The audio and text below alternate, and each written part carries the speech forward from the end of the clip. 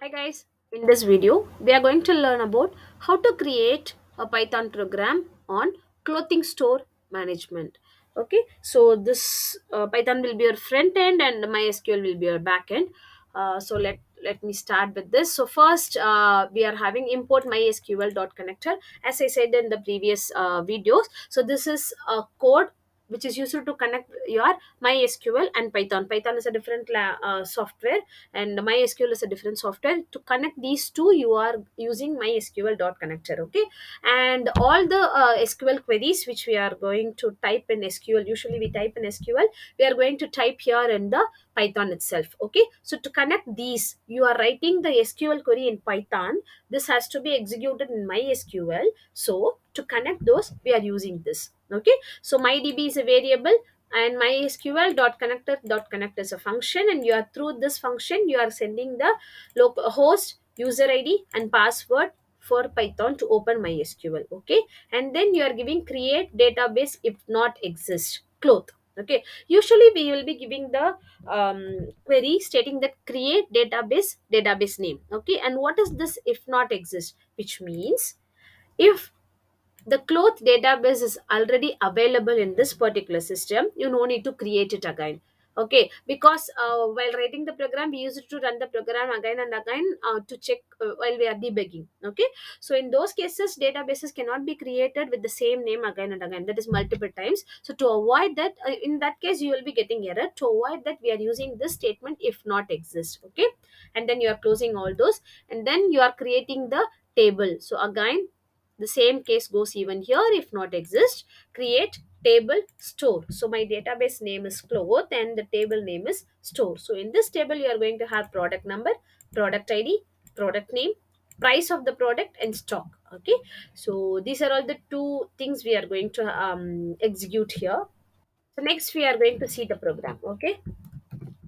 First, you are going to have menu function. Okay, so as it is a function, we are using def as a keyword to define that. So you are defining a function called menu, and then when they press Y, so it will come here. If they wanted to continue, they have to press yes. So only in the case of Y, you will be working on it. Otherwise, you will be coming out of the program. Okay. So what what are you doing when they press yes? So first, you are giving the uh, welcome note okay the statement. This is a, sim- a simple statement which is optional okay? And then you are giving five options to your user. Add record update record delete record display record and then close the program okay? So now when they enter the choice when they select number one add data function will be called. When they select number two update uh, one function will be called. When they select number three delete one function will be called now when they select 4 display one function will be called. When they select number 5 you will be displaying the closing the program message and then you are breaking the program which means your program will come out okay?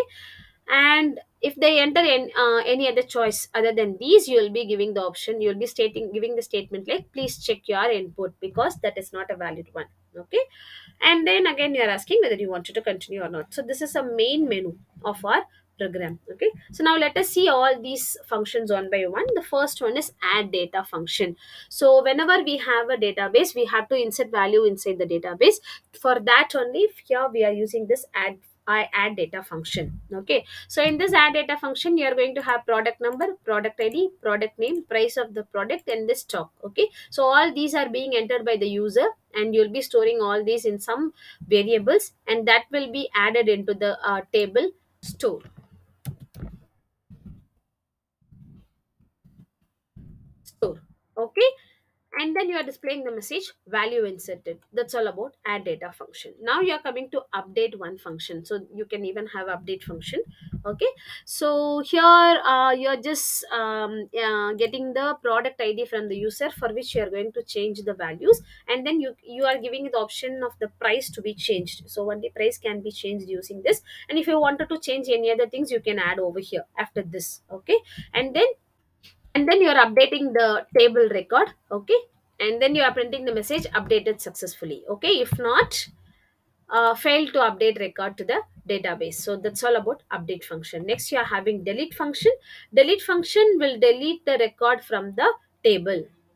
So you are just getting the product id from the user and then you are deleting that particular item from the table okay? So here you are giving the option where pid that is product id is equal to the given value okay?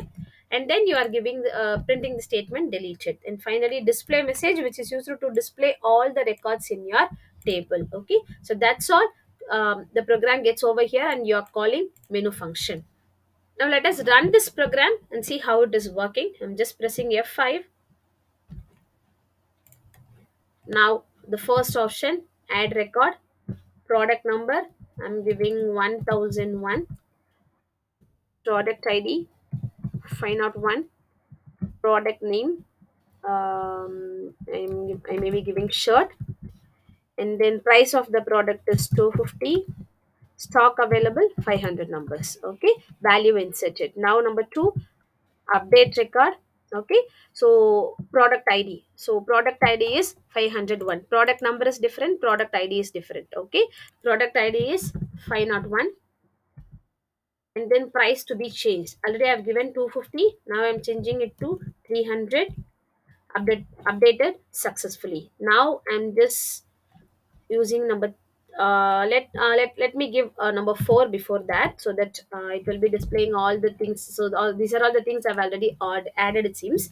Okay so it is displaying all the message and at, that last we have our uh, data which we inserted now okay? So i'm just selecting any one product id for deleting okay? So number three delete record. I'm just giving the product id record successfully deleted okay so now let us display it once again. So you will not be will not be able to see that particular record which 3050567 okay it is not available in our table. So that's how it's work and when you press 5 it was just closing the program. You wanted to continue or not i'm just pressing n. Just came out from the program. So that's all. Hope you understand this program. We'll meet you in the other video. Thank you. Happy learning